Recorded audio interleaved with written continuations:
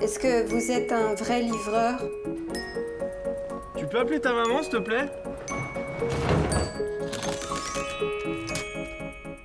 La première chose qui m'a qui m'a un peu sauté aux yeux dans le film, c'est ce découpage en chapitres qui fait Oui. euh, très euh, succession un peu de, de scènes comme ça, euh, qui pourrait tout à fait en fait être présenté euh, sur euh, bah, sur ta chaîne en fait YouTube en voilà en espèce de petites vidéos séparées. Alors, c'est vrai que c'est un principe de tableau.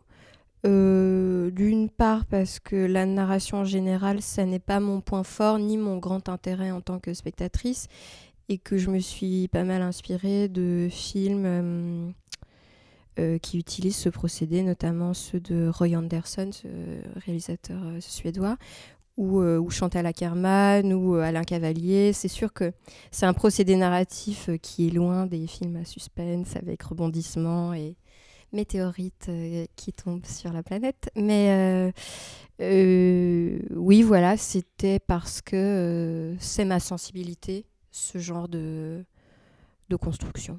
Ça m'amène euh, tout de suite en fait à la deuxième question. C'est est-ce que des cinéastes comme Demi et René euh, t'ont influencé? Euh, oui, alors Re- René, j'adore Hiroshima mon amour qui a été un, grand un grand déclic dans ma vie de cinéphile. Mais c'est dur pour moi de nommer d'autres films qui, qui m'intéressent autant que celui-là. Et demi, je connais pas tout.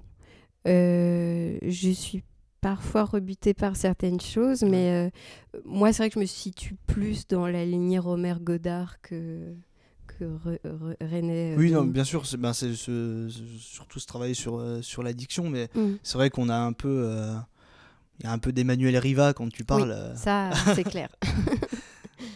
Je, voulais, je voulais parler maintenant de l'affiche du film qui m'a beaucoup interpellé, surtout le, le fait que ce soit écrit que le film est une comédie existentielle.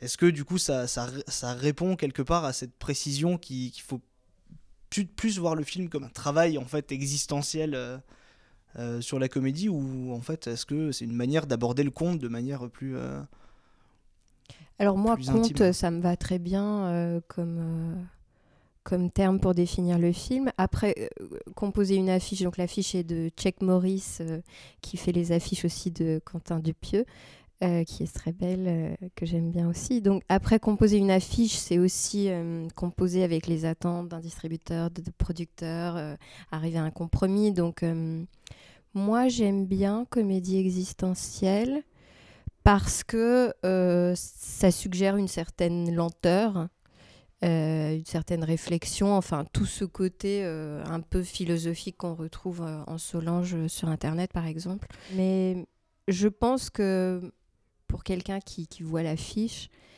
ça, ça exprime bien que le film n'est pas dans une efficacité absolue et qu'il y, y a un décalage dans la lenteur et, qui reste et qui continue à faire sourire malgré tout. Euh, je vais juste parler un petit peu de la galerie de personnages qui, que je trouve extraordinaire. hein, vraiment, Mm. euh, et chaque rencontre en fait a quelque chose de très, euh, très touchant, en fait, de très poétique. Et à l'inverse, les, les, les personnages avec lesquels elle, elle interfère jamais, comme par exemple les deux femmes dans la, dans la salle d'attente, sont très caricaturaux. Mm. Est-ce que, la, est-ce que la solitude de Solange, en fait, a à voir avec, le, avec la poésie des personnages, en fait? Oui, je pense que les personnages sont des cousins de Solange finalement. C'est et, bon pour, information, les, deux personnages de la salle d'attente euh, sont les, les rares exceptions de textes préécrits et appris par cœur par les actrices. Sont des textes documentaires euh, issus de ma collaboration avec le Move euh, qui s'intitulait Solange pénètre ta vie intime. Donc, ce sont des témoignages documentaires de, de vraies femmes. Et c'est vrai que l'expérience du long métrage a aussi été pour moi l'expérience de collaboration et donc de choix d'acteurs. Et j'avais envie de personnages très atypiques et qui, soient tous un peu lunaires. Et c'est vrai que je pense que pour les avoir choisis, euh, il y a certainement une parenté euh, sous-jacente chez eux qui, qui est aussi celle de Solange et la mienne. Alors Solange nous parle sur YouTube, elle nous lit des tweets sur France Inter. Euh, elle fait des performances un peu post-modernes euh, sur Internet. Et pourtant, elle vit dans un espèce de monde euh, un peu désuet, comme ça, un monde urbain un peu désuet. Justement, on parlait tout à l'heure de, Quentin Dupieux, mais la musique de Tahiti Boy aussi fait un petit peu. Enfin, participe en tout cas à cette ambiance désuète. Qu'est-ce qui, qu'est-ce qui en fait t'intéresse là-dedans? Bah, Je dis souvent que le film est un peu rétro-futuriste parce que finalement, il aborde des thèmes d'Internet, de la naissance d'une youtubeuse. Finalement, je crois que c'est le premier film qui aborde ce thème. Et à la fois, il y a ce, cette désuétude. Donc je pense que j'aime le contraste. Et, euh, et finalement, euh, c'est des paradoxes, euh, des paradoxes qui existent en moi depuis le début, c'est-à-dire utiliser Internet pour finalement délivrer un discours très loin de l'actu et, et, de la, et de la vitesse ambiante. Bah merci beaucoup. Merci. Je ne m'explique pas bien pourquoi les êtres humains